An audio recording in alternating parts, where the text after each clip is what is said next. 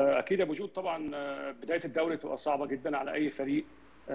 أنا شايف إن الأهلي نجم المباراة بالنسبة له هو الجمهور وفيرمينو مش مش ياسلا مش المدير الفني لأنه طبعا ما لحقش يحط أي بصمة ليه في في المباراة.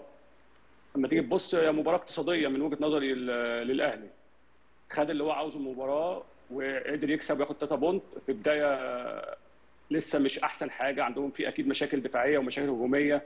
ومشاكل في الأداء ولكن في الآخر المهم بالنسبة له إن هو يكسب ويأدي كويس ويفرح جمهوره.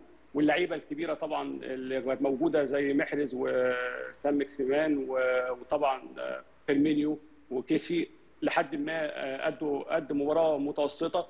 لكن أنا أتكلم عن فيرمينو لأن فيرمينو بالنسبة لي نجم المباراة مش بس عشان الأداء أو ممكن مش أحسن أداء لكن لما تيجي تبص على مهاجم 100% الفرص اللي جات له هو جابها جوان. في حاجات سهلة وفي حاجات صعبة. انت تبص على الجون الأول يا أستاذ تركي مش أي حد يبص على على التفاصيل دي. دخل دخل في ال offside بعد كده في, في, في ثانيتين بالظبط رجع تاني من ال offside ومجرشي عمل cross كويس جدا جدا جدا عرف يحط فيها بدماغه بقوة كبيرة جدا. مش أي حد يعرف يعمل الحاجات دي. مهاجم كبير على أعلى مستوى. يعني فيرمينو من كل الفرص اللي اتيحت له سجلها بالكامل. جوه الجون وحتى ال offside اللي هو حتى ال offside اللي هو اتحسب عليه جابه جول وكان كرة صعبة. فأنت أنا شايف 100% فرص 100% جوان. فده مش موجود كتير في العالم اللي أنت تبقى عندك مهاجم طبعا أنت أغلب المهاجمين تعطيه أربع كور يسجل لك واحدة يعني. بالظبط. ففي المستوى دوت لما تجيب فيرمينو لا فيرمينو لعيب كبير يعرف يخلص لك المباريات يقدر يدي في وسط الملعب يشتغل تسعة ونص يشتغل 10 يعرف يطلع بين الخطوط كويس جدا جدا جدا.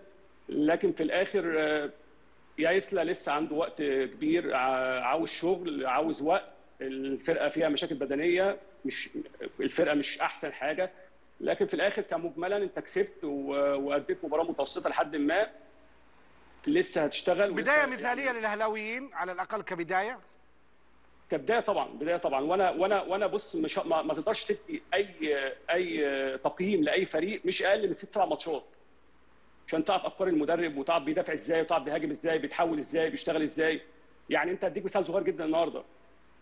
الحزم طول الماتش بيلعب في 30 متر بيلعب دفاع متقدم.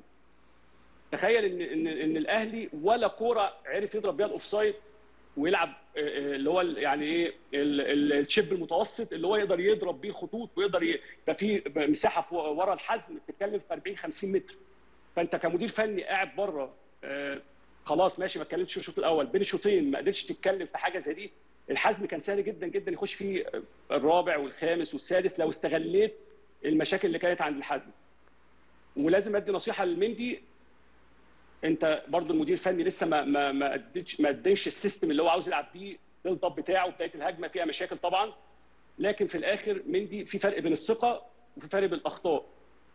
لأن الشوط الأول تخيل أنت مثلا أول ربع ساعة أو ثلث ساعة كسبان 2-0 الكرة اللي استلمها بغلط كانت ممكن تبقى ضربه جزاء ويقدر يخش فيها جون. والجون الثاني تقدر تستلم الكرة وتلعب لمستين. ما لهاش أي لازمة تلعب لمسة واحدة. ففي في فرق كبير قوي بين الثقة وفي فرق بين الاستهتار. انت انت ممكن مش واخد بالك انت لسه جاي الدوري السعودي الكلام ده كله لكن لأ في أداء وفي قوة وفي فرق هتعاقبك بعد كده لو ممكن تبقى أحسن من الحزم تقدر تلعب معاك وت... وتعمل معاك شغل أحسن من كده. اثنين برضو اثنين بسرعة لفتوا انتباهي كويس جدا.